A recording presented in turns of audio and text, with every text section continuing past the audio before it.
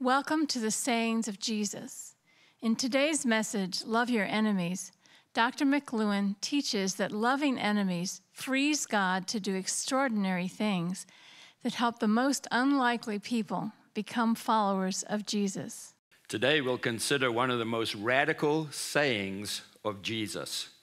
In the face of abuse and hatred, Jesus said, I say to you who hear me, love your enemies, do good to those who hate you, bless those who curse you, and pray for those who abuse you. Luke chapter 6, verse 27 and 28. Jesus practiced exactly what he preached. Jesus loved his enemies. And when he was abused, he did not curse. And while being crucified, he said, Father, forgive them. They know not what they are doing. Luke chapter 23 and verse 34. In my travels around the world, I've met plenty of people who've taken these words of Jesus to heart and loved their enemies. One time I was traveling to meet with a group of refugees from Iran in the country of Italy. From Rome, we drove up into the Apennines, Apennines mountain range, uh, and on the other side was a secluded campground. And there we met with these precious followers of Jesus. And while there, I met a man who seemed really desperate to talk to me. The conference schedules can get really busy, and it wasn't until the last day that we had an opportunity to have a private meeting. He used to work for the regime as a prison guard. And he said to me, My goal in life, listen to me carefully, was to hurt as many people as possible and kill an American. And there I was sitting in his presence. but he was a follower of Jesus.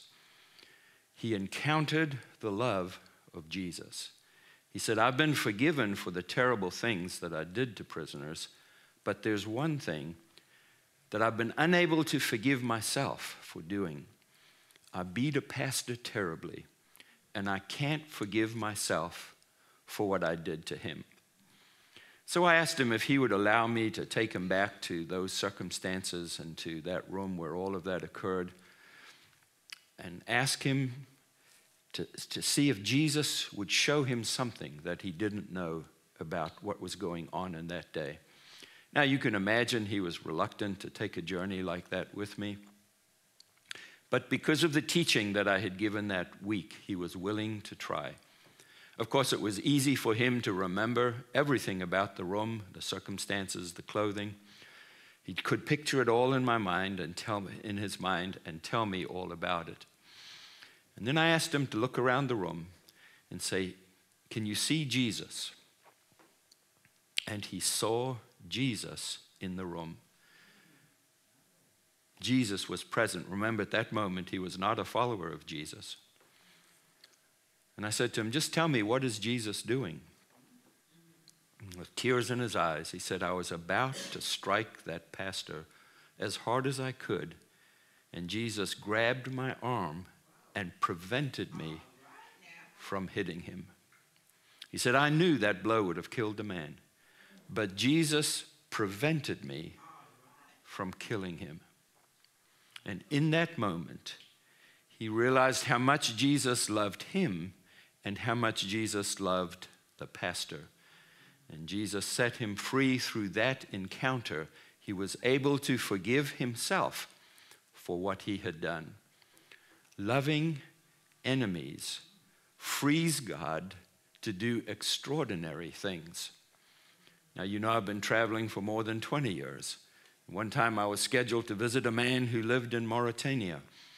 and all of a sudden, the communication went dry, just stopped. I didn't know. And I learned that he had been martyred for his faith. I had the privilege of attending the memorial service for this man. And during that time, the family said publicly that they forgave the man for killing their son and expressed to him how much God loved him. I wish I could tell you that was the only time I needed to attend a service like that, but sadly it is not. Another friend was martyred in Libya. During the memorial service, his wife forgave those who killed her husband and prayed for them to discover the powerful love of Jesus. These experiences and others have strengthened my faith to believe that Jesus meant it when he said, Love your enemies. And the more we learn to love our enemies, the easier it is to love our friends. I heard a pastor say one time a man tried to tell him that he no longer loved his wife. The pastor said, Well, the Bible says, love your enemies. and that just took the steam out of that thing right away. Made me think a whole lot more about life. I'm sure the man didn't like what the pastor said. It certainly got his attention. And just him saying it that way got my attention. So, whatever relationships, whatever challenges you are facing in, in relationships, these words of Jesus are relevant. Jesus loves your enemies, and he wants to help you to love them as well. Your enemy might be your boss, your fellow worker, your neighbor, a relative, people with different political views. God help us as we go through another round of commercials. Whatever it is, Jesus loves the person enough to have died for him, for her, for whatever their behaviors are. Ask Jesus to help you to love your neighbor. Now, the more we learn about uh, our enemies, or the more we learn to love our enemies, the easier it is to love our friends. I began this me- message by suggesting that this is the most radical saying of Jesus. In the series of messages, we have been considering the sayings of Jesus compared to the sayings of other great religious leaders. Mahatma Gandhi was well known for his radical, nonviolent protests against the British in India. But his ideas were not his own. He had studied the writings of Jesus carefully, and he had read these words of Jesus love your enemy. And he said, that is the right and high ideal to follow. And so he put that into practice in his own life. But since then, many radical Hindus are killing many people, followers of Jesus, happening right now. Radical Buddhists are doing exactly the same thing. And it's not my purpose to try to shame any other religious leader, but on this particular point, the difference between the sayings of Jesus and the sayings of Muhammad could not be clearer. Jesus said, The one who strikes you on the cheek, offer the other also. And the one who takes away your cloak, do not withhold your tunic either. Luke chapter 6 and verse 29. The Quran says, in Cow, which is the second surah, and ayat 194, he who attacks you, attack him in like manner. Many other verses like that in the Quran. And many people who are raised reading the, the Quran find themselves incredibly attracted to the sayings of Jesus, and in particular, this invitation to love our enemies. Now, what could be more powerful than learning to love one's enemies. Jesus continued this teaching by saying, If anyone forces you to go one mile, go with him two miles or a second mile, Matthew chapter 5 and verse 41. Have you ever wondered what that was all about in the days of Jesus? The Jewish people viewed the Roman invaders as their enemies.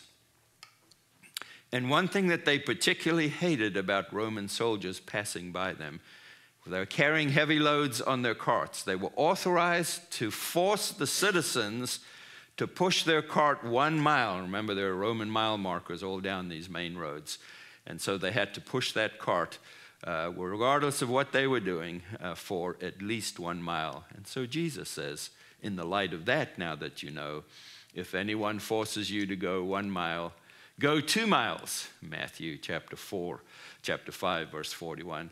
I think we've got a lot of second milers here at Ingleside willing to go the extra mile for whatever God asks you to do, whatever your neighbors need you to do, whatever your friends and family need. You're willing to go that extra mile. It's become a proverb in our society today. May God help you. Jesus said we are to pray for our enemies. I think it's important to understand the kind of prayer that Jesus wanted us to pray. We're not praying for God to kill him. We're not God praying for God to make him do what we want him to do. We're praying and asking God to bless them. That's what Jesus said. Pray for your enemies and bless them. So one of our HSP graduates ministers in an area uh, where he's teaching locals to give food to radical Muslims. A lot of drought in that area. And for some of these most unlikely people living in these remote islands are experiencing the love of God for the first time from someone who they consider to be an enemy. And the more we learn to love our enemies, the easier it is to love our friends. Uh, Jesus, speaking about other relationships, said, Give to everyone who begs from you, and everyone who takes away your goods. Do not demand them back. As you wish others to do to you, you do to them. Luke chapter 6, verse 30 and 31. What is this called? And we know this as the golden rule.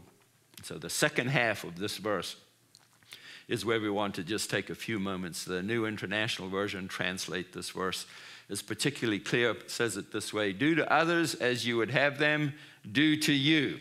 Again, the same verse, just in a slightly different translation. And of course, we want people to be kind and loving and gentle to us. And Jesus is simply saying if you'll sow that into people's lives, you will reap it in return from others. Jesus went on to say, If you love those who love you, what benefit is that to you? Even sinners love those who love them. And if you do good to those to whom do, who do good to you, what benefit is that to you? Even sinners do the same. Luke chapter 6, verse 32 and 33. Does that make sense to you? Now, in our own time, we're so grateful for Dr. Martin Luther King Jr., who modeled the teaching of Jesus on loving our enemies what a great example he is to us of nonviolence and teaching us what Jesus put into practice and wanted all of us to live that kind of way. Jesus continues by saying, If you lend to those from whom you expect to receive, what credit is that to you? Even sinners lend to sinners to get back the same amount. Luke chapter 6 and verse 34. And Jesus ends this teaching with a powerful saying Love your enemies, do good and lend, expecting nothing in return, and you will be sons of the Most High, for he is kind to the ungrateful and to the evil. Luke chapter 6 and verse 35. It is the last part of this verse that I think is particularly important. God is kind to the ungrateful and the evil. Luke chapter 6 and verse 35. It is good to follow a God who is kind to ungrateful and to evil persons. If God is kind to them, how much kinder will he be towards those who love him and to those who want to do his will? Let's take a moment and thank God for his love for us and for his mercy towards all people. He is a compassionate God. Ask God to bring to your attention someone whom you may have thought of as an enemy. And before you leave today, I invite you to pray and ask God for the one who He's brought to your attention and speak a blessing over their life in a way, in a deeper way than perhaps you ever have before. And perhaps someone is listening to this message thinks that you are doing God a favor by killing followers of Jesus. Jesus even said that. A time will come when you think you're doing God's will to kill people. Uh, open your heart to receive today's powerful teaching. Jesus loved his enemies so that we can learn from him how to love our enemies. Now, receive the opportunity to be forgiven that Jesus offered to his enemies when he was crucified on the cross. Except that Jesus died for you in your place, that you can spend eternity with God in heaven. He died for you so that you can be in his presence, in the very presence of God, the one who has always longed to have a relationship with you. Thank Jesus for dying for you on the cross and ask him to forgive you for all of your sins that you have committed. If you just received Jesus as your Savior, write to me and tell me about your decision to follow Jesus. Next week, we'll continue learning from the sayings of Jesus.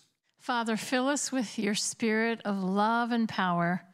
Help us draw on that love in times when we are feeling oppressed and mistreated. Give us courage to obey your command to love our enemies. In the name of Jesus, amen. We hope this message has filled you with living hope in Jesus. If you would like to talk to someone about your spiritual journey, please leave a comment or send us a private message. We enjoy reading your notes and having an opportunity to pray with you. If you received a blessing through this message, please share it with others. We invite you to become a Living Hope partner by donating as little as a dollar a month through our QR code. Your gifts will help us create new messages and reach more people. Living Hope is a ministry of Ingleside International Incorporated. All donations for Living Hope qualify as a charitable contribution. Thank you for your prayers and support. Next week, we will continue learning together from the Word of God. God bless you and fill you with living hope.